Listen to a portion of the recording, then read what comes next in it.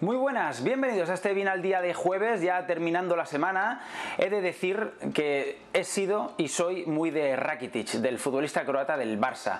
Eh, no solo por cómo juega al fútbol, que es un gran centrocampista y un gran jugador, sino eh, además por las cosas que dice, por cómo las dice, en qué momento, y aunque sean fuertes o contundentes, siempre las dice con respeto y eligiendo perfectamente los tiempos. Cuando ha tenido que hablar sobre la directiva del Barça, les ha dado palitos de forma muy elegante, ¿eh? cachetada con guante blanco. Eh, cuando se ha referido a, otros asuntos, lo único que no me gustó de Rakitic, me, parece que fue un poquito eh, inoportuno, fue cuando el año pasado Liverpool les metió cuatro en Anfield y al día siguiente apareció en la, feria de Sevilla y se hizo fotos. Pero yo creo que eso al final fue no una emboscada, pero, pero, pero bueno, fue un sitio en el que no debería estar en ese momento, pero ya lo tenía arreglado de antes. En fin, que me voy por las ramas. ¿Qué ha, ha dicho Rakitic en el, en el día de hoy?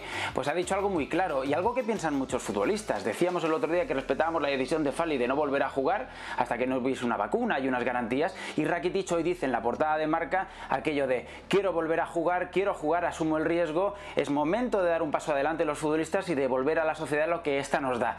Perfecto. Para mí, absolutamente impecable. Es más, añadiría más.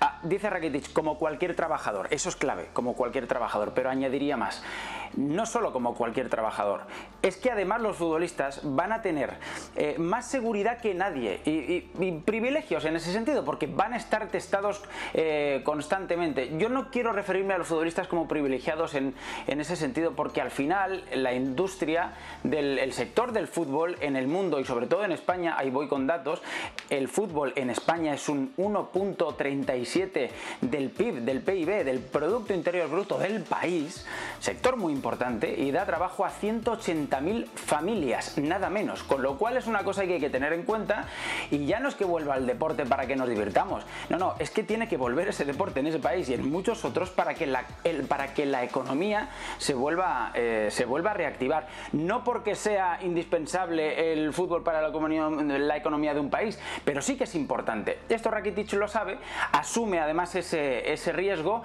y efectivamente hay que añadir eso, que los futbolistas además van a estar más testados que nadie, con lo cual van a trabajar con más garantías que muchos trabajadores. A eso se une además, esto ya es de mi cosecha, que otras empresas están haciendo sus test privados a sus trabajadores y el fútbol no puede ser, eh, no puede ser menos.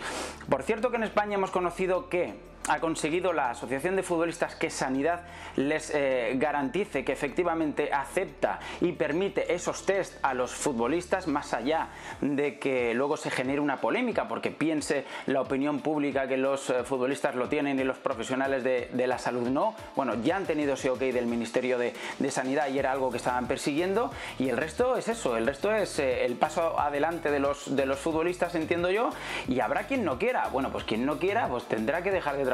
Es que muchos trabajadores hemos seguido eh, eh, trabajando durante, durante esta crisis del coronavirus, arriesgándonos, al final la vida a riesgo, y, Rakitic yo creo que lo ha entendido eh, perfectamente. irán saliendo más, imagino, durante los próximos días, más futbolistas a decir esto como a decir lo contrario. Al final hay que respetar la opinión de cada uno.